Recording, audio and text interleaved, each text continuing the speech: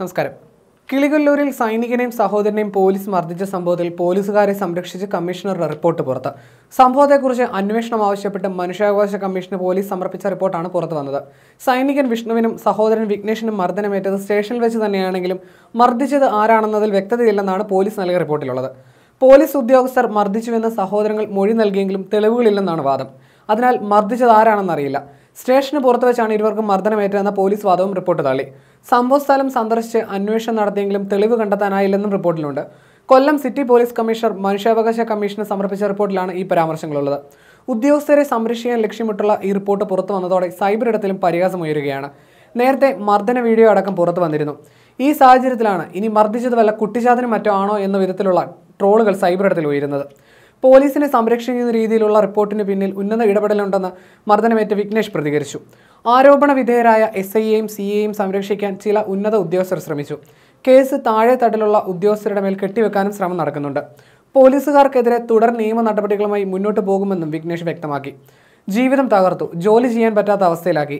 ഏറ്റവും ക്രൂരമായി മർദ്ദിച്ചവർക്കെതിരെ യാതൊരു നടപടിയുമില്ലെന്ന രീതി. ഇതിനെതിരെ ഏതറ്റം വരെ പോരാടുമെന്നും വിഘ്നേഷ് പറഞ്ഞു. എം ഡി എം എ കേസിലുള്ളയാളെ ജാമ്യത്തിൽ ഇറക്കാൻ വിളിച്ചു വരുത്തിയ ശേഷം പേരൂർ സ്വദേശികളായ വിഘ്നേഷിനെയും വിഷ്ണുവിനെയും പോലീസുകാർ ക്രൂരമായി മർദ്ദിക്കുകയായിരുന്നു. മഫ്തിയിലുണ്ടായിരുന്ന എസ് ഐയും സൈനികനായ വിഷ്ണുവും തമ്മിലുണ്ടായ തർക്കത്തിന്റെ പേരിൽ ഇരുവർക്കുമെതിരെ കള്ളക്കേസും ചമച്ചു. ലഹരിക്കടത്ത് കേസിൽ പ്രതികളെ കാണാനായി എത്തിയ രണ്ട് യുവാക്കൾ പോലീസ് സ്റ്റേഷനിൽ അതിക്രമിച്ച് കയറി എസ് ഐയെ ആക്രമിക്കുന്നു എന്ന തരത്തിൽ വാർത്ത പുറത്തുവിടുകയും പിന്നാലെ കേസെടുക്കുകയുമായിരുന്നു സംഭവത്തിൽ Kollam special branch S P നടത്തിയ പ്രാഥമിക അന്വേഷണത്തിലാണ് പോലീസിന് വീഴ്ചയുണ്ടതായി കണ്ടെത്തിയത്. പിന്നാലെ S H O S I അടക്കമുള്ളവരെ suspend ചെയ്തു. S H O Vinod S S I Aneesh grade S I Prakash Chandran C P M Manikandan Pillai എന്നിവരെയാണ് ദക്ഷിണ മേഖല I G P Prakash suspend ചെയ്തത്. ഇതിന് പിന്നാലെയാണ് ആരാണ് മർദ്ദിച്ചതെന്നതിൽ വ്യക്തതയില്ലെന്ന രീതിയിൽ കമ്മീഷണറുടെ റിപ്പോർട്ട്. കൊല്ലം കിളികല്ലൂരിൽ സൈനികനെ മർദ്ദിച്ച പോലീസുകാർക്കെതിരെ ശക്തമായ നടപടി വേണമെന്നാവശ്യപ്പെട്ട് ഡിവൈഎഫ്ഐ രംഗത്തെത്തിയിരുന്നു. പോലീസിലെ ചില ഉദ്യോഗസ്ഥർ സർക്കാരിനെ നാണക്കേടുണ്ടാക്കുന്നുവെന്ന് ഡിവൈഎഫ്ഐ സംസ്ഥാന സെക്രട്ടറി വി കെ സനോജ് പറഞ്ഞു. കുറ്റക്കാരായ മുഴുവൻ ആളുകളെയും മാതൃകാപരമായി ശിക്ഷിക്കണം.